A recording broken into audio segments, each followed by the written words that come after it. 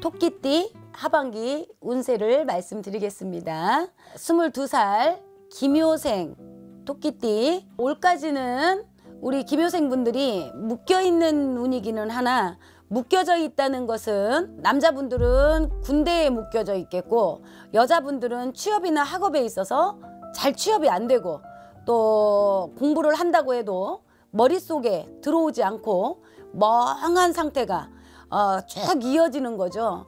음, 하반기에는 묶여진 운이 뒤집어져서 풀리시는 운이 있습니다. 공부를 해도 하반기부터는 맑은 정신으로 할 수 있는 기운이시고 남친 여친이 생기는 연애운도 있으시거든요. 경강줄은 조금 약할 수 있어요.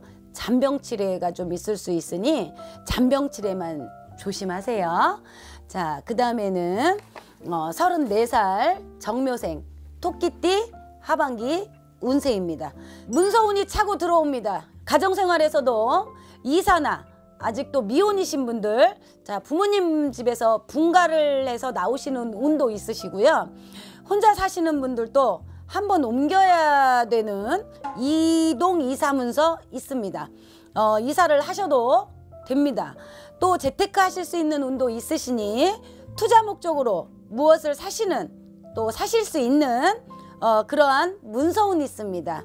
금전이 부족하더라도 사놓으시면 3년, 4년 뒤에는 큰 재물이 될 수 있으니 투자 한번 해보시는 쪽으로 생각을 해보시는 것이 좋겠습니다. 자, 그 다음에는 46살 을묘생 토끼띠 하반기 운세입니다. 자, 46살 을묘생 분들 올해 조심하셔야 되는 해죠. 어, 본인들이 투자를 해놨거나 어, 무엇을 해보려고 시작했던 것들이 이렇게 버리는 금전이 될 수가 있거든요. 또 해보려고 하는 것들이 delay, 미뤄지는 형국이죠.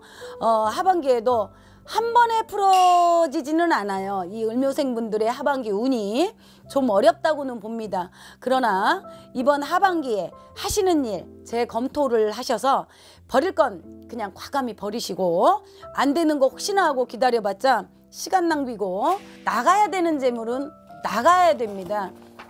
미뤄졌던 일들은 서서히 풀어지는 기운은 있거든요. 어, 나간 금전, 재물 때문에 속상해하지 마시고 이제부터 버는 금전, 생기는 금전 지금부터 될 겁니다.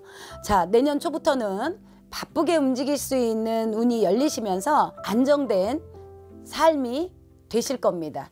자, 그 다음에는 58살 되시는 개묘생 토끼띠 운세입니다. 조금 이렇게 살아오시면서 판란이 좀 많은 듯이죠.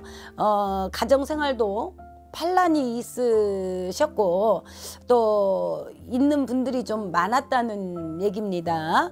자 자손 때문에도 걱정이 있어야 되고 무엇을 자꾸 이렇게 버리기는 했으나 시작은 잘 시작하시는데 끝이 꼭 억울하게 끝나시죠. 어, 하반기 운은 나쁘지는 않아요.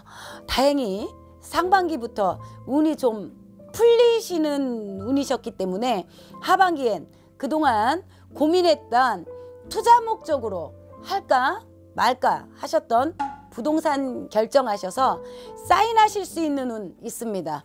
자, 하반기에 결정하시는 부동산 운은 나쁘지 않기 때문에 팔고 사는 것에 손해는 없을 겁니다. 지금까지 토끼띠 하반기 운세를 말씀드렸습니다.